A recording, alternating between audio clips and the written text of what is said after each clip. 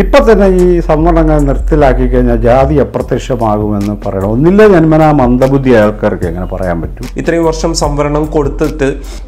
അത് നമുക്ക് ഗുണപ്പെട്ടില്ലെങ്കിൽ പിന്നെ വീണ്ടും അത് പരീക്ഷിക്കുന്നത് എന്തിനാണ് നമ്മുടെ സിസ്റ്റം അതിലെ കമ്മീഷൻ ഏജന്റുമാർ പൊളിറ്റിക്കൽ എക്സിക്യൂട്ടീവ് ഉദ്യോഗസ്ഥന്മാർ ഇവരെല്ലാവരും കൂടി കൂടി ആ ആദിവാസി ഫണ്ട് കട്ടുമുടിച്ച് തിന്നിട്ട് അവർ തന്നെ പറയുകയാണ് ഇതെല്ലാം കൊടുത്തിട്ട് അവർ നന്നാകുന്നില്ല നമുക്കിതങ്ങ് നിർത്തിയേക്കാന്ന് പറയാം